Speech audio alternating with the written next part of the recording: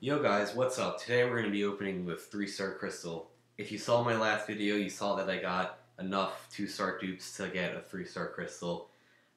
This video is not going to really be that long because that's all I'm going to be opening is this 3-star.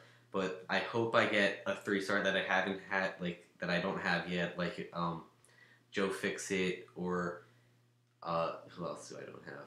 I don't know, but um, hopefully I could get one that I don't have or a dupe of someone that I use like Doctor Strange or the Vision or Iron Patriot because those are the three stars that or Groot, which he's not in this, but those are the three stars that I use in when I like do battles in this game.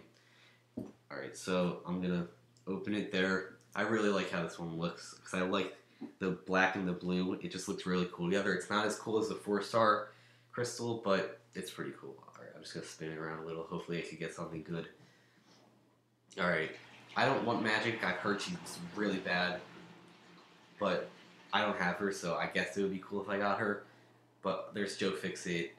I would like the X Force Deadpool I want, or Magneto I don't have, Moon Knight, any of those guys. I'm just gonna let this one spin out. I'm not gonna tap it. All right, here we go.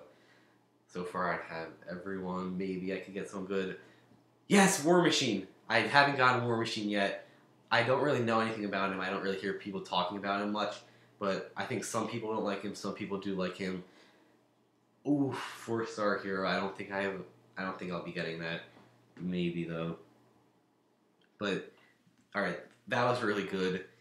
I'm happy with the War Machine. I really want to test him out.